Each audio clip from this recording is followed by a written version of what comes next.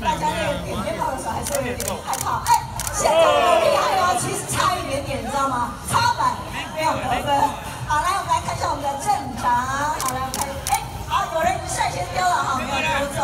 好，一会长，哎，哇，都差一点点哦。看一下，现场再一个啊，这边。恭喜我们的会长得分啊，太厉害了！呃，这个是我们的党阿 B 哥哈，党阿 B 哥是我们后龙非常有名的，非常有名，尤其是在我们的这一个早期，呃，早期在我们的火车站前面哈，那个党阿 B 哥非常有名哈，已经卖了几十年的这一个我们的后龙的这一个特色小吃，啊，这一个呃鹅啊煎更不用讲了哈。